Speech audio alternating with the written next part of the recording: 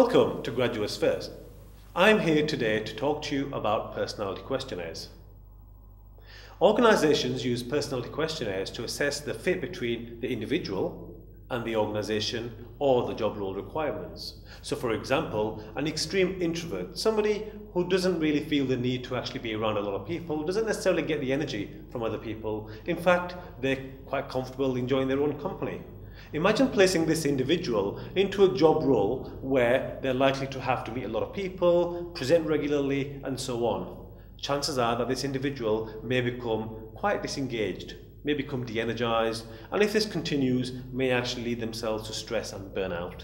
On the other hand, you have an extreme extrovert, somebody who actually enjoys meeting new people, enjoys the company of other people, and actually gets energy from other people. Imagine placing this individual in a job role where there's little room for social interaction. Maybe a data analyst role, where they're just locked down, typing away and assessing data, and not really getting to meet new people or engage with others as such. Both of these examples reflect a poor fit